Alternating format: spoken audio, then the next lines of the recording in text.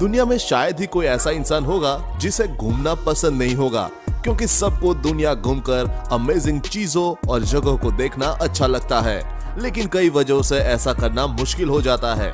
ऐसे में एक ही विकल्प हमारे पास बचता है, और वो है इंटरनेट जहाँ पर हम अपना कंफर्ट जोन छोड़े बिना दुनिया भर की अमेजिंग जगह और चीज़ों को केवल एक क्लिक में देख सकते हैं। आज हम आपके लिए वही काम आसान करने जा रहे हैं। आज हम आपको बताएँगे दुनिया भर से कुछ ऐसी ही अमेजिंग चीज़ें, जिसे आज से पहले आपने न तो देखा होगा और न ही सुना होगा। बारिश और ओलावृष्टि का किनारा। ये तो सभी ने नोटिस किया ही होगा कि एक ही शहर में रहने के बावजूद कहीं बारिश होती है तो कहीं नहीं। लेकिन अगर ऐसा है तो बारिश का एक आखिरी छोर, यानी किनारा तो ज़रूर होगा, जहाँ से देखने पर एक तरफ़ बारिश और एक तरफ़ सूखा दिखाई देता होगा। क्या आपने ऐसा देखा है? नहीं ना। लेकिन ऐसा देखा जा सकता है, लेकिन ये बहुत मुश्किल है। पहला तो इसके लिए बारिश बहुत तेज होनी चाहिए, दूसरा, आपका लक आपके साथ होना चाहिए, ताकि आप वहाँ पर मौजूद हो, जहाँ बारिश का किनारा बनने वाला है, और तीसरा यह कि हवा बिल्कुल शांत हो। वरना बारिश, हवा से स्प्रेड होते हुए आगे बढ़ती है तो किनारा दिख नहीं पाता। अगर ये तीनों चीज़ें आपका साथ देती है तो एक वीडियो की तरह आप भी बारिश का किनारा देख सकते हैं। एक तरफ़ बारिश और एक तरफ़ सूखा। ठीक इसी तरह ओलो के साथ भी होता है। देखिए एक वीडियो में कैसे रिपोर्टर ओलावृष्टि की रिपोर्टिंग कर रहा है। लेकिन कई लोगों का मानना है कि रिपोर्टर किसी पुल के नीचे खड़ा है, इसलिए ऐसा दृश्य बना। आपको क्या लगता है कमेंट करके बताइएगा। सोप बबल, अगर आप किसी ज़बरदस्त ठंडे इलाके में घूमने गए हैं या रहते हैं तो क्या आपने कभी उतनी ठंड में सोप बबल बनाया है? मुझे पूरी उम्मीद है कि ऐसा कम तापमान में किसी भी तरह के पानी से खेलना आप बिल्कुल भी पसंद नहीं करेंगे। लेकिन ऐसा है तो आप एक बहुत ही शानदार चीज़ से अछूते हैं। एक वीडियो को देखिए, आप खुद समझ जाएँगे। देखिए कैसे बबल कम तापमान की वजह से बर्फ़ में बदल रहे हैं। है ना खूबसूरत?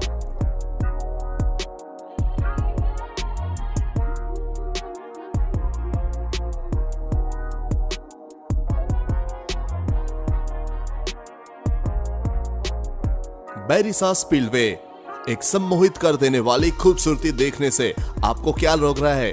क्या यह कोई मैनमेड करिश्मा है या किसी तरह की प्राकृतिक घटना? देखने पर तो ऐसा लग रहा है मानव पृथ्वी के गर्भ में पानी जा रहा है। लेकिन हम आपको बता दें कि यह एक मानव निर्मित संरचना है, जिसे स्पिलवे कहा जाता है, जिसका काम बाँध के पानी का स्तर बढ़ने पर अतिरिक्त पानी को निकालना होता है। दुनिया भर में अलग अलग तरीके से स्पिलवे बांधों पर पाए जाते हैं। इस तरह से ये बाँध को टूटने से भी बचाते हैं। इस वीडियो में दिखाई दे रहा है, स्पिलवे बैरिसा लेक पर बना है, जब जलाशय का स्तर 440 फुट से ज़्यादा होता है तो वो अपने आप विशाल कंक्रीट पाइप के ज़रिए निचले हिस्से में मौजूद क्षेत्रों तक सिंचाई आदि के उपाय के लिए चला जाता है।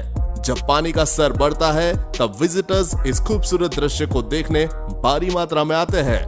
पिछले 22 सालों में सिर्फ़ चार बार ही इसका उपयोग हुआ है।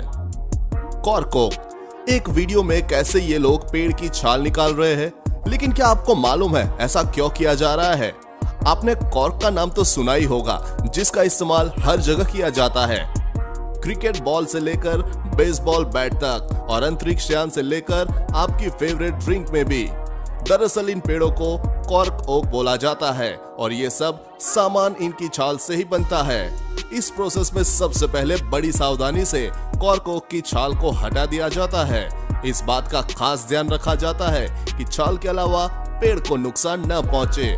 छाल को लाद कर फैक्ट्री में बेच दिया जाता है और पेड़ों को लगभग 10 साल के लिए आराम करने के लिए छोड़ा जाता है, जिससे उस पर दोबारा छाल आ जाती है। क्योंकि दुनिया में यही एक ऐसा पेड़ है, जिस पर दोबारा से पूरी तरह छाल वापस रीजनरेट हो जाती है।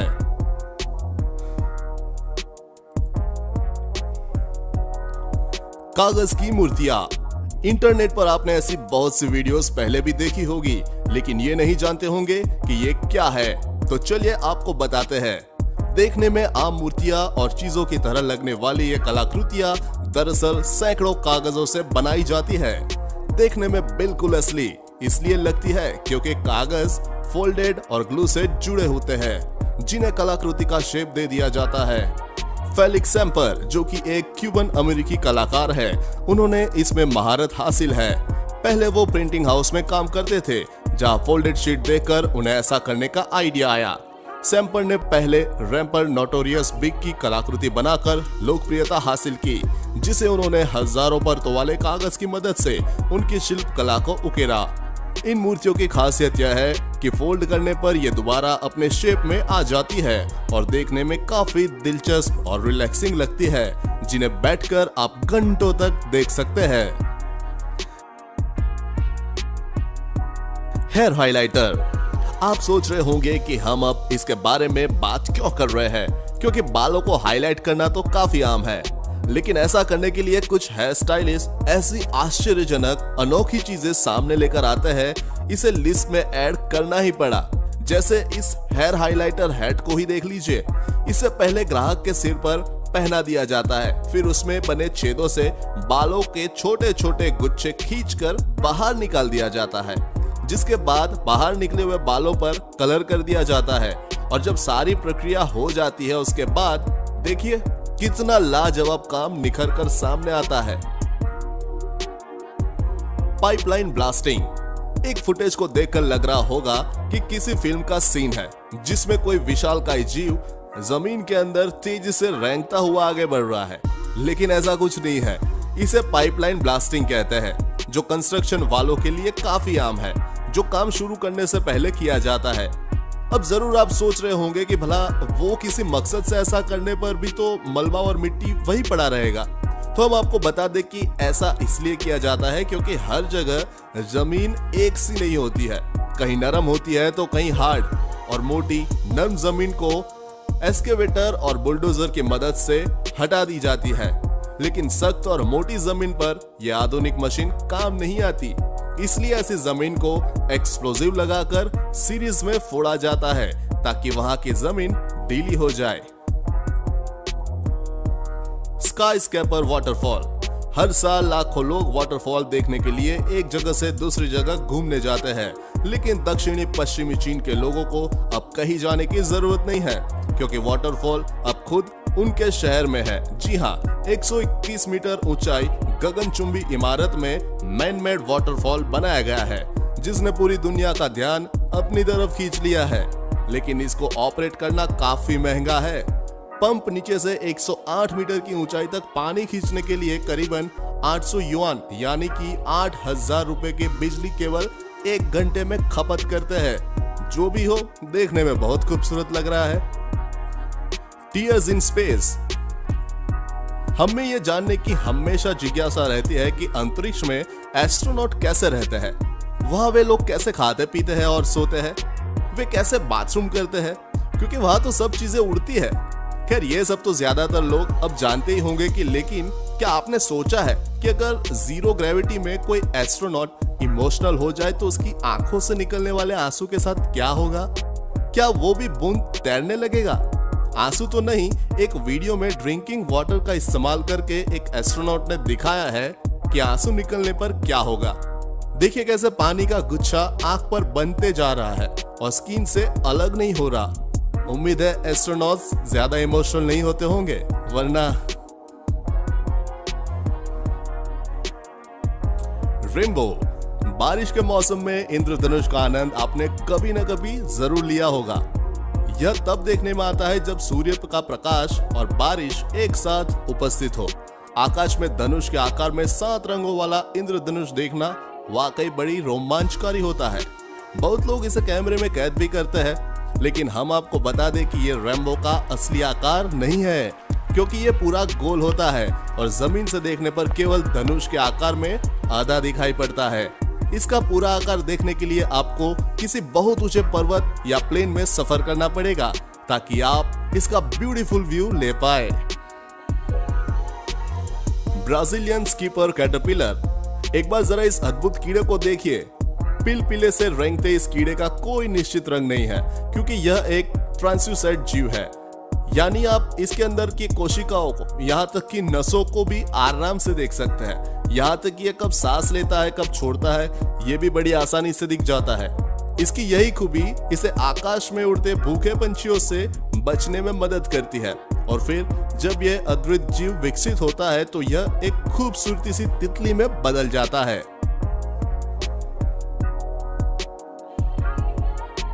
स्पेसक्राफ्ट लॉन्च हर साल कई दर्जनों रॉकेट स्पेस में लॉन्च होते हैं। लेकिन क्या आपने अपनी आँखों से ऐसे किसी ने कैरियर रॉकेट को आसमान में जाते हुए देखा है? जवाब नाम ही होगा। बाल हम इतने लकी कहा?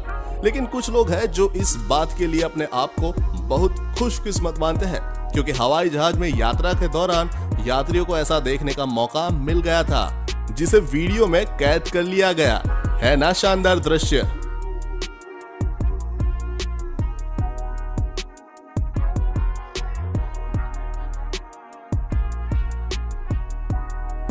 चीन की दीवार। चीन की दीवार इक्कीस किलोमीटर लंबी है। इसे बनाने में सबसे पहले लकड़ी और पत्थरों का इस्तेमाल किया गया था।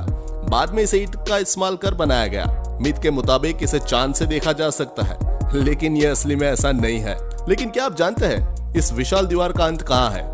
चीन के किन ह्युआंगडो शहर में मौजूद संगाई के पास में दुनिया की सबसे लंबी दीवार खत्म हो जाती है, जहाँ बोआई समुद्र में मिल जाता है इसका आखिरी छोर। चीन की दीवार के इस हिस्से को लाओ लोंगतू या ओल्ड ड्रैगन हेड के नाम से जाना जाता है। इसका नाम ओल्ड ड्रैगन हेड पड़ा, क्योंकि जिस जगह ये दीवार समुद्र में मिलती है, उसे देखकर ऐसा लगता है, मानो ड्रैगन अपना मुँह समुद्र में डुबा रहा है। चले दोस्तों, आज के लिए बस इतना ही। उम्मीद है आपको वीडियो पसंद आई होगी, और ऐसी वीडियो देखने के लिए बने रहिए हमारे साथ। धन्यवाद।